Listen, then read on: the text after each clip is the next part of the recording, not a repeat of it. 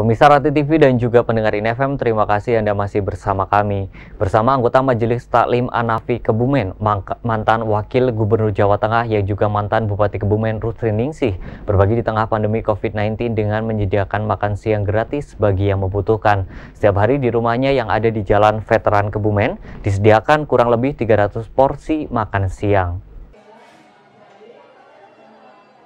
Mantan Wakil Gubernur Jawa Tengah yang juga merupakan mantan Bupati Kebumen, Dr. Anda Hajah Rustriningsi MSI, membagikan makan siang kepada para pedagang kaki lima dan tukang becak.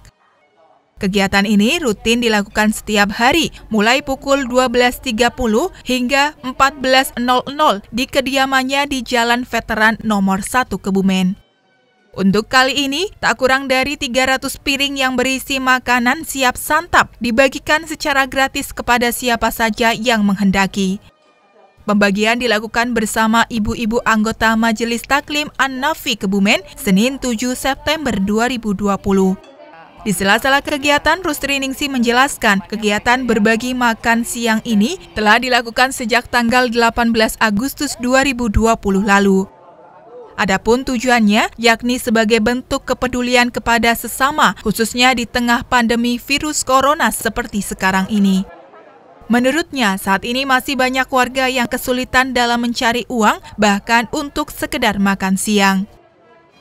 Ya, ini kegiatan yang dilaksanakan bareng-bareng dengan teman-teman dari Majelis Taklim Anafi eh, untuk sedekah makan berkah ini dimulai tanggal 18 Agustus 2020 ya hanya berbagi aja karena kita lihat uh, ada banyak saudara-saudara kita yang uh, ketika waktunya makan siang uh, mereka belum ada uang yang cukup untuk bisa membeli makan siang.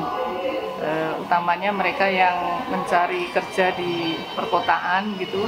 Uh, mungkin kalau untuk pulang ke rumah uh, cukup jauh begitu jadi mereka nggak perlu pulang tapi bisa mampir ke sini kalau yang berkenan dengan yang kami sajikan Sementara itu, salah seorang penerima Sugeng Wahyudi, seorang tukang becak asal Kebumen mengaku senang dirinya hampir setiap hari makan siang di tempat tersebut.